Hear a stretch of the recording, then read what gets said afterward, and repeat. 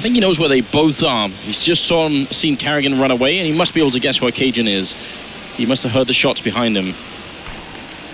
Well, with 15 seconds to go, he's got to pick up some pace. He's got to hope for this 1v1 up against Karrigan, then get the bomb down thereafter.